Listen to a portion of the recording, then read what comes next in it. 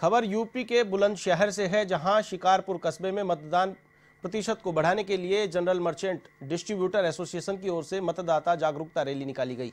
इस दौरान व्यापारियों ने स्लोगन के माध्यम से लोगों से मतदान करने की अपील की। रैली का शुभारंभ जिलाधिकारी अभय सिंह ने किया।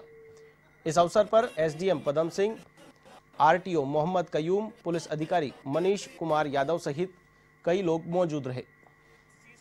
देने के लिए नहीं दिया है। इसमें सब देखिए कि सबके सब यहाँ पर 18 तारीख को शत प्रति-